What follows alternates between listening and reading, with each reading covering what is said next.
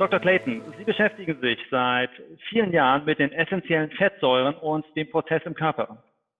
Uh, yes, ja, das ist einer der Bereiche, mit dem ich mich schon seit langem beschäftige und es handelt sich tatsächlich um einen der Schlüsselbereiche. Äh, warum sollten sich die Menschen mehr mit den essentiellen Fettsäuren und insbesondere mit dem Verhältnis Omega-3 zu 6 auseinandersetzen? Der Grund dafür, dass äh, die essentiellen Fettsäuren und insbesondere das Verhältnis von Omega-6 zu Omega-3 so grundlegend wichtig geworden ist, liegt an einer ganzen Reihe von Gründen. Die Frage hat ja zwei Teile und der erste Teil bezieht sich darauf, dass äh, der Grund für die meisten sogenannten degenerativen Krankheiten und Zivilisationskrankheiten, die wir kennen, in der chronischen Entzündungssituation des Körpers liegt. Und der zweite Teil bezieht sich darauf, dass äh, in dieser Gleichung es ja darum geht, ähm, im zweiten Teil, dass der, die, das Verhältnis zwischen Omega-6 und Omega-3 von grundlegender Bedeutung ist im Körper des Menschen. Ich sage natürlich nicht, dass es der einzige Faktor ist. Es gibt äh, wohl auch einige andere. Aber das Verhältnis von Omega-6 zu Omega-3 erscheint doch als essentieller Bestandteil der Beantwortung dieser Frage. Ja, vielen Dank. Äh, die These, dass 90 Prozent aller Krankheiten gelindert oder gar nicht auftreten müssen, ist sensationell. Können Sie uns erläutern, worin sich diese Aussage begründet? I, I would I would put it like this: We've had a century of um, In der Vergangenheit haben wir man könnte sagen, wie Aristoteles, Daten gesammelt, Fakten gesammelt, haben zusammengetragen, was wir zusammentragen konnten, um eine Basis zu haben. In jüngerer Zeit stellt es sich nun so dar, dass wir eher äh, dem Ansatz von Sophokles folgen, ähm, der das Ganze dann in Zusammenhang bringt. Und wenn wir nun diese Fakten und Daten nehmen und daraus sehen, was wir zusammengetragen haben, dann stellen sich doch einige ähm, Kernprinzipien heraus. There are core factors. These we can now address. You mentioned yourself the figure of Sie haben ja gerade selbst diese Zahl von 90 Prozent genannt. Und es ist doch interessant, diese Zahl erst einmal zu hören. Wo kommt sie denn eigentlich her? Diese Zahl ähm, stützt sich auf verschiedene Quellen. Eine Quelle davon sind die sogenannten blauen Zonen. Und manche denken bei den blauen Zonen an kleine Inseln wie Campo di Melli in Italien beispielsweise. Aber ähm, ich kann doch sagen, dass die größte Insel, auf die wir uns beziehen, eigentlich eine Insel in der Zeit ist. Und diese Insel in der Zeit, die nennen wir das viktorianische Zeitalter. Und wir können sagen, dass, dass, die Bevölkerung damals sehr, sehr gut dokumentiert wurde und wir auf ein umfangreiches uh, Datenmaterial zurückgreifen können. Daraus ergibt sich, dass die Lebenserwartung in den vergleichbaren sozialökonomischen Gruppen seinerzeit sogar höher war als die heutige. Und wenn wir uns die degenerativen Krankheiten seiner Zeit anschauen, dann können wir erkennen, dass es sich nur um ungefähr 10 Prozent der Häufigkeit ähm, handelt, die wir heute sehen.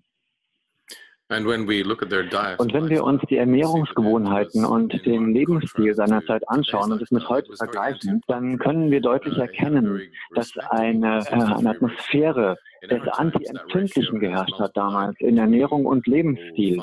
Was daraus folgt, ist, dass sich die degenerativen Krankheiten und die chronischen Krankheiten, die wir heute sehen, um das fünf- bis zehnfache erhöht haben.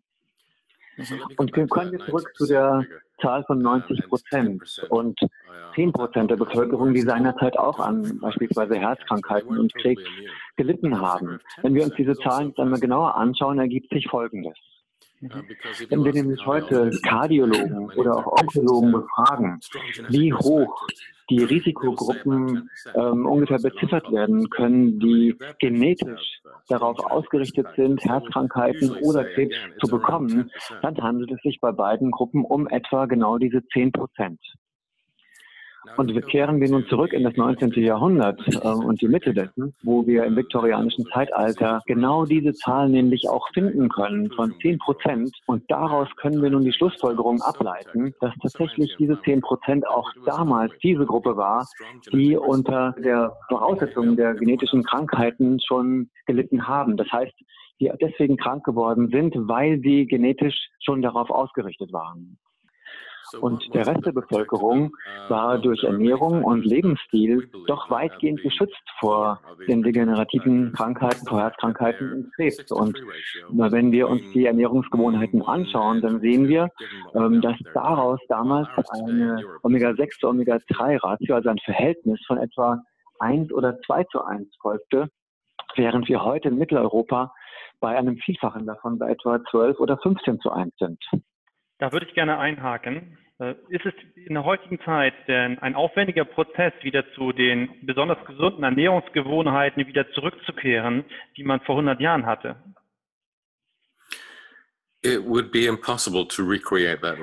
Wir können natürlich den Lebensstil von damals nicht mehr imitieren, denn es gab damals weder Maschinen noch gab es das Internet und wir haben uns als Menschen viel mehr bewegt. Wir hatten äh, viel mehr physische Aktivitäten und äh, haben auch dadurch einen viel höheren, ähm, viel mehr Kalorien zu uns genommen, um dann überhaupt in diese Aktivitäten gehen zu können.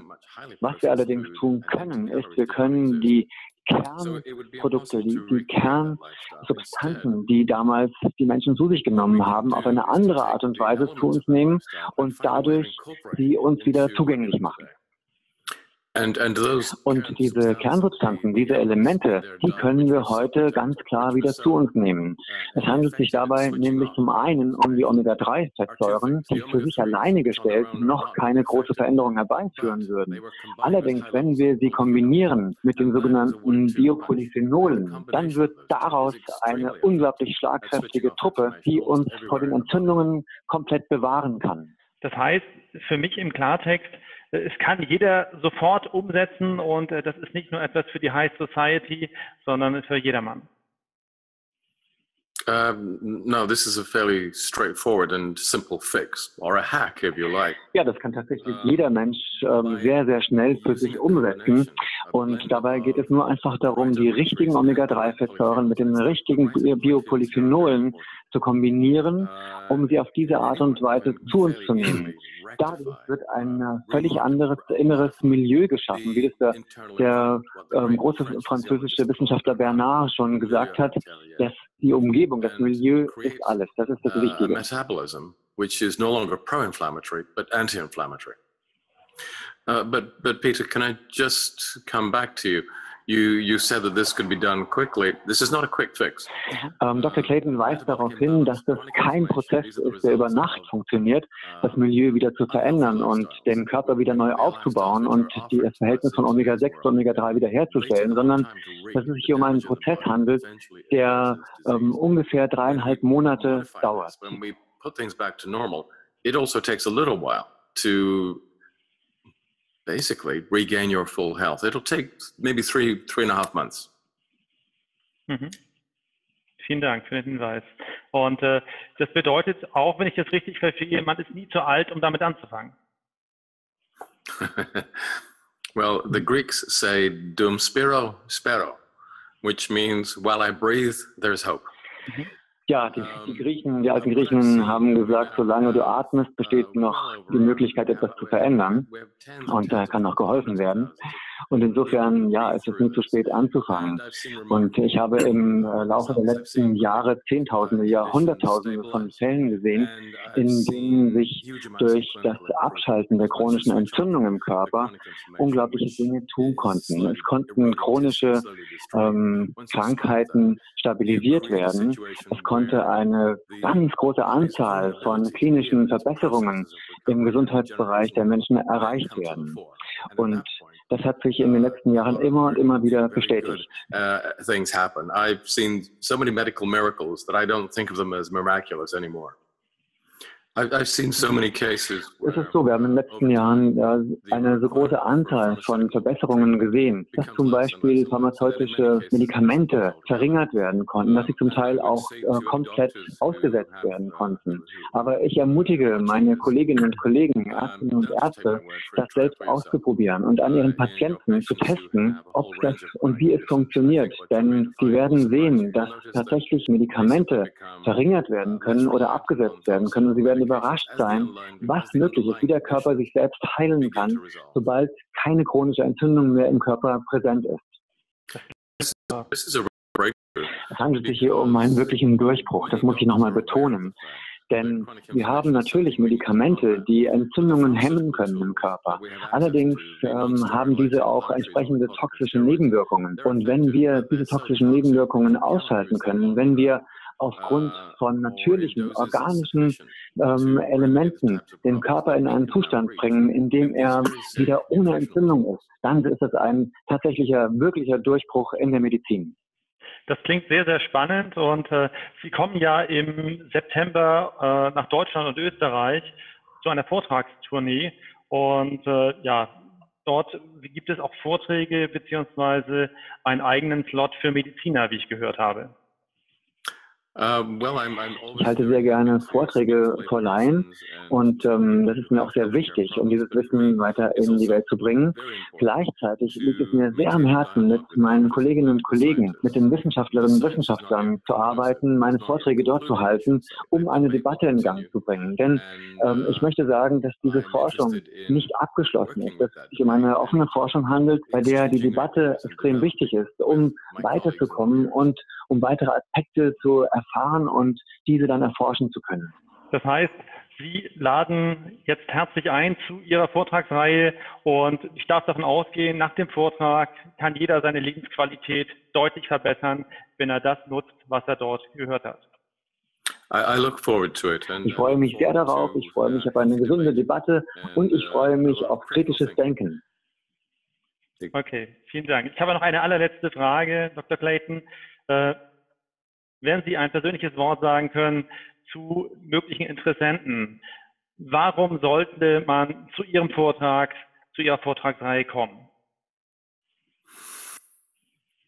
Because es ist so, dass das momentane Gesundheitssystem sich als nicht effektiv erwiesen hat. Ist, grundsätzlich ist es zusammengebrochen. Das kann man sagen, denn wir äh, behandeln Patienten mit Medikamenten, die dem Körper nicht wirklich zuträglich sind. Und in manchen Fällen, ähm, ganz offen gesagt, sind sie auch gefährlich für den Patienten. Wir gehen davon aus, dass wir ein neues Modell brauchen, ein neues Modell, das sich darauf ausrichtet, den Menschen tatsächlich die Möglichkeit geben, wieder zu heilen, die Möglichkeit dem Körper zu geben, sich selbst zu heilen, die Möglichkeit, äh, tatsächlich kurativ zu sein und ein Modell zu sein, das alles in allem einfach viel freundlicher und den Menschen und dem Leben zugewandter ist. Ja, vielen Dank dafür. Herzlichen Dank für das Gespräch. Wir sehen uns im September in Deutschland und auch in Österreich. Ich freue mich darauf, Sie persönlich kennenzulernen und vielleicht auch ein weiteres Interview mit Ihnen zu führen. It's a pleasure. Thank you. Es ist mir eine Freude. Vielen Dank.